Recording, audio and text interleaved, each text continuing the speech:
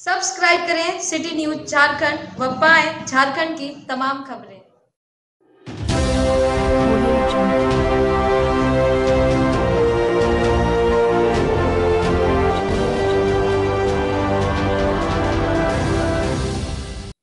पलामू ज़िले के पाटन प्रखंड अंतर्गत नावाखास पंचायत के पोखरिया में शिव मंदिर के प्रांगण में महाशिवरात्रि के शुभ अवसर पर सांस्कृतिक कार्यक्रम का आयोजन किया गया।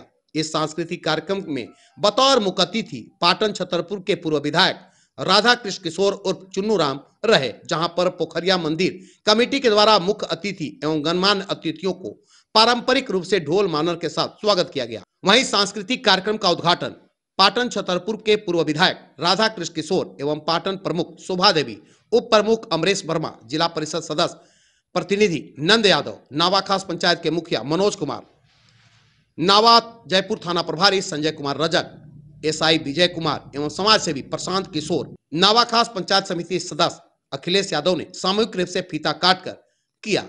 कार्यक्रम को संबोधित करते हुए मंदिर कमेटी के द्वारा मंदिर में चार दीवारी एवं पोखरिया में तरहसी तक मुख्य सड़क बनवाने की बातें कही गई। वहीं ग्रामीण क्षेत्रों में हो रही समस्याओं के बारे में पूर्व विधायक को रूबरू कराया गया। पूर्व विधायक के द्वारा बतलाया गया कि पाटन प्रखंड के विकास कार्य अब रुक सी गई है। हमने कई सुदूरवर्ती इलाकों का भ्रमण किया है, जहाँ पर पूर्व में जो विकास कार्य हुए हैं, वही पर नज़र आ रही है। नए तौर तरीकों से कोई भी कार्य नहीं किया गया है। पाटन प्रखंड की बात करें तो प्रखंड के आसपास के आठ से दस पंचायतों में विकास कार्य सिमट गई है।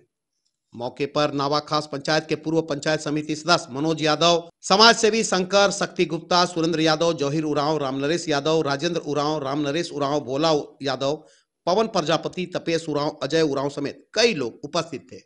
पाटन से ऋषि सिन्हा की रिपोर्ट।